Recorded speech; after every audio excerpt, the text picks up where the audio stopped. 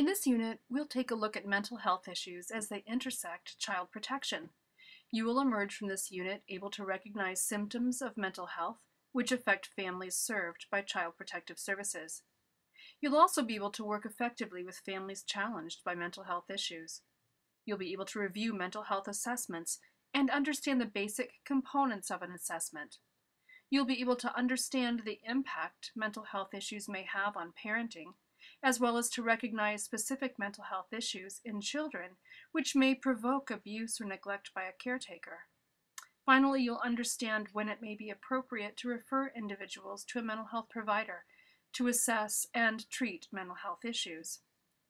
It's important for you to be able to recognize how commonly occurring mental disorders can affect a person's ability to parent, and to be able to recognize the range of social functioning among children, adolescents, and adults who experience mental and emotional disorders.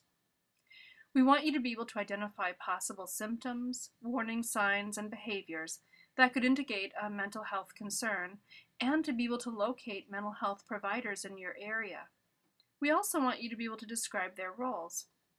As you engage with this unit, we want you to keep in mind the importance of child, the child protection specialist's role in recognizing symptoms of mental illness, seeking clinical case consultations to assist you in your work, and thinking critically about mental health concerns and diagnoses relative to the children and families with whom you work.